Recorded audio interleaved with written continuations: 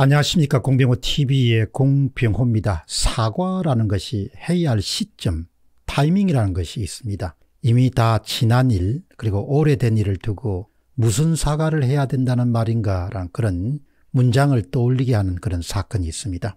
오늘 신문에서 기사 하나를 봤습니다. 그 기사는 짧은 기사지만 좀 뜬금없는 그런 사과 요청이다 그런 생각을 떠올리기에 충분합니다.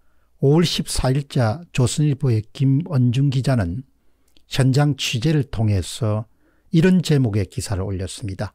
당청 관계의 또 다른 뇌관 조국 사과 이런 제목의 기사입니다.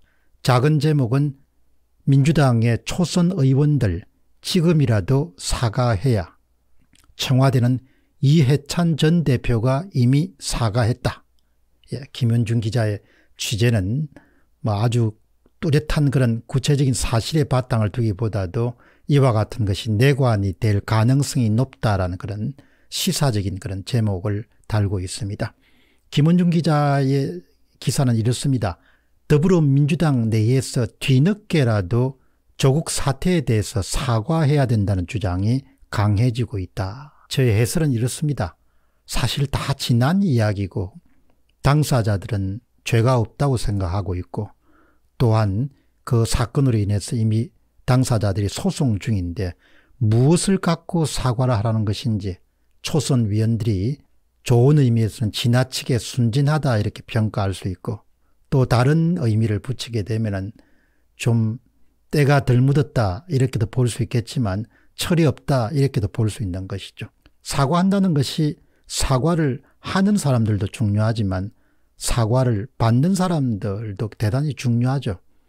사과를 받는 사람들의 태도와 마음가짐도 중요한데 많은 사람들이 2년 전의 일을 가지고 그때 사과했으면 모를까 지금 와서 새삼스럽게 무엇을 갖고 사과한다는 말인가 이런 생각을 하기에 충분합니다.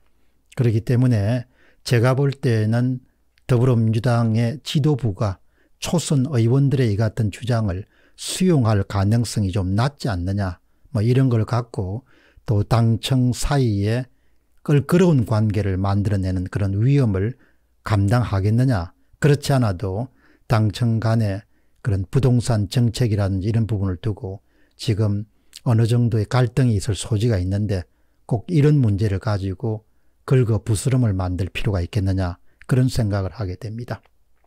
김원중 기자의 기사는 또 계속됩니다.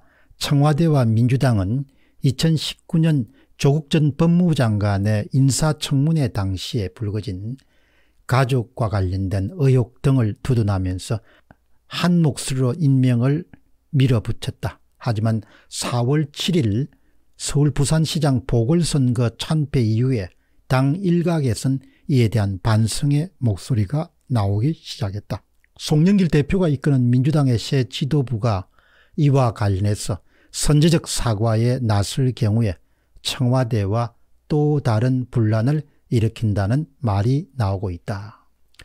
제 해설은 이렇습니다. 사과를 하자는 측이 민주당 전체의 의견이 아니고 초선 의원들 아주 소수 의견이다 이렇게 볼 수 있겠습니다.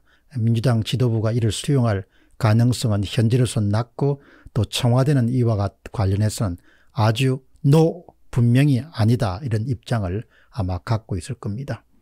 다시 김원중 기자의 기사가 계속됩니다.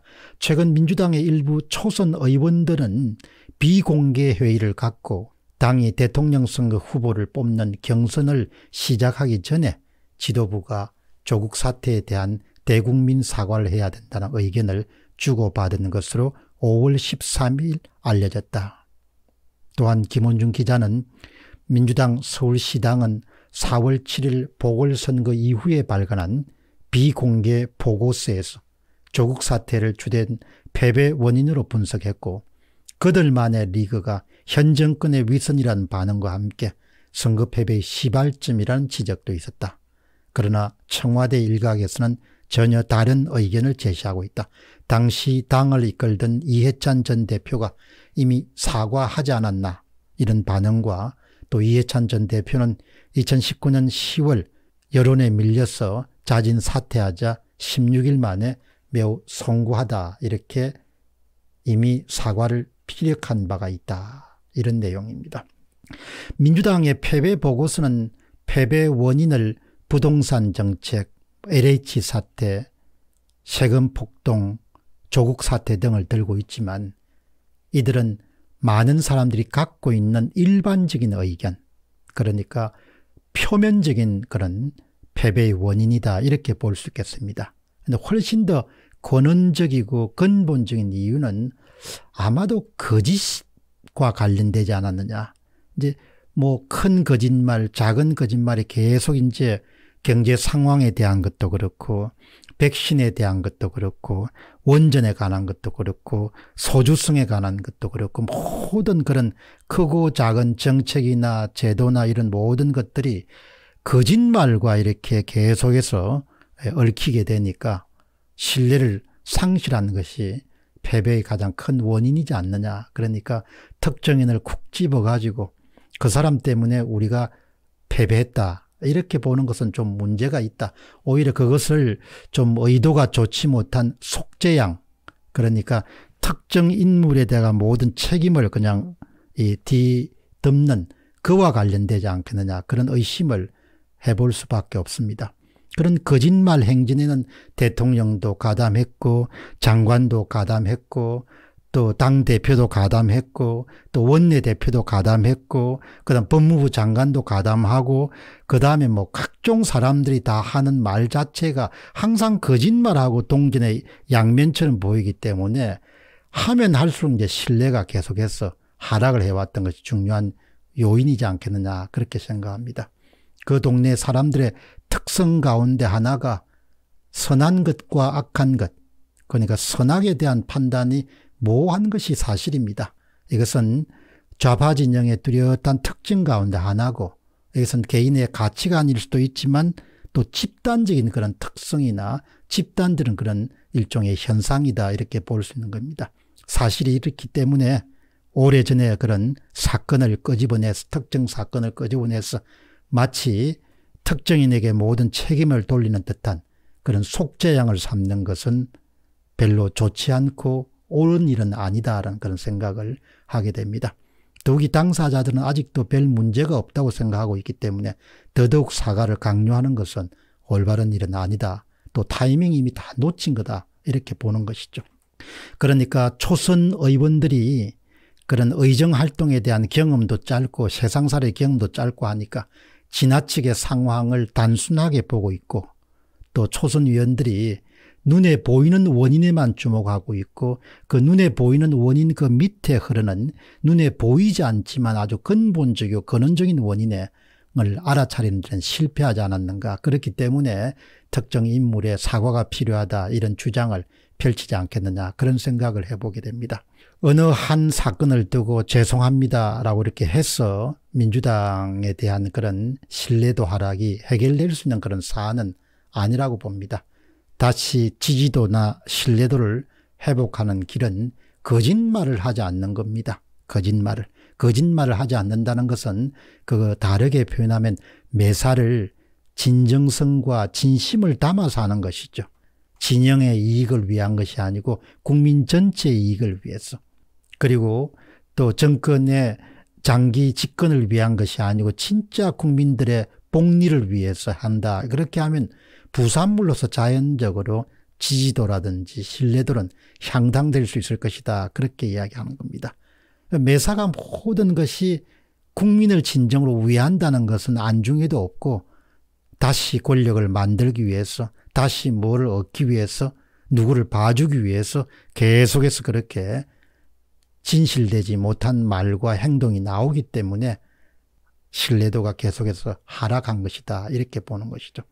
그런데 과연 그것이 가능하겠느냐? 그 동네 사람들에게. 우리 편이 하는 것은 모든 것이 선한 것이다. 무조건 우리 편은 옳다. 이런 생각이 뺏속 깊이 체화되어 있는 사람들에게 진실되거나 거짓말을 하지 않는 거나 진심을 담아서 하는 거나 이런 것을 기대할 수 있겠느냐. 뭐 예를 들면 오늘 박준영 해양수산부 장관이 이제 후보 사퇴를 결정하는 발표를 했습니다. 무척 고생을 많이 했죠. 결국은 어, 아내 되는 분 때문에 이제 차관에서 장관이 되지 못한 그런 불상사가 발생한 겁니다. 그러면은 청와대 반응이 참 아까운 사람인데 참 유감으로 생각한다. 이렇게 하면 훨씬 더 그 진실된 그런 논평이었을 건데 청와대 반응이 박준영 고맙고 짠하다 뭐 이런 표현을 쓰니까 그 고맙고 짠하다. 예, 결국은 한 명 정도를 양보하고 체면 치레를 한 다음에 다른 사람들을 모두 다 임명을 강행하는 그런 계획이나 작전의 일환으로 받아들이는 국민들이 상당히 많을 것이다. 그러니까 청와대 박준영 고맙고 짠하다는 말도 그런 작전의 일환으로 해석하시는 국민들이 꽤 많지 않겠느냐 그렇게 보는 것이죠. 이제 그런 것도 거짓이란 큰 테두리 내에서 이제 그런 발언들 청와대 반응이란 것을 해석하게 되는 것이죠. 진정으로 국민을 위한다는 그런 진심으로 돌아오면 그때는 뭐 아주 자연스럽게 민주당에 대한 그런 지지도나 신뢰도나 믿음 같은 것이 회복될 수 있을 것이다. 그렇게 되는 것이죠. 뭐 나라 일을 하는 거나 회사 일을 하는 거나 개인의 삶에서 나가네 모든 게 다 이 부산물이지 않습니까? 사업이 잘 되고 개인이 잘 되는 것은 부산물이고 그 과정이 진실돼야 되는 거죠. 그 관심이. 근데 그 과정이 진실되지 않고 계속해서 예를 들면 이성윤 서울중앙지검장의 기소권도 뭐 하늘로 보나 땅으로 보나 바다로 보나 어디로 보나 좌로 보나 우로 보나 그런 기소돼야 되는 거지 않습니까? 그러나 박범계 장관 계속해서 그걸 이제 두둔하는 듯한 그런 반응이 나오면 그 자체가 모두 다 그런 온전한 정신을 갖고 있는 시민들 눈에는 그게 진실되지 못하다고 보이는 거죠. 그러니까 그, 그런 것 하나하나가 계속해서 이제 깎아 먹는 겁니다. 신뢰도나 지지도를. 그렇기 때문에 초선 의원들이 특정 인물에게 사과를 강요할 것이 아니라 진짜 패배에 대한 근원은 거짓말과 관련돼 있다. 이렇게 거짓말과 그것은 선악 개념이 명확하지 못한 것과 관련이 있다.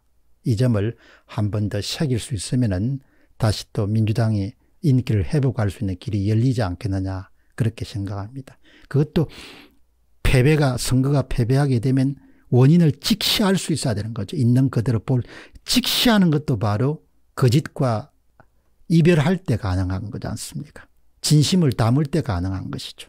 공병호 TV의 공병호였습니다. 감사합니다. 멤버십 후원자들을 위한 질문 코너를 진행하도록 하겠습니다. 오늘 의견을 남겨주신 분은 5월 12일 날 정세균 이번에는 2천만 원 준다. 이 내용을 보고 임극정님이 글을 남겼습니다.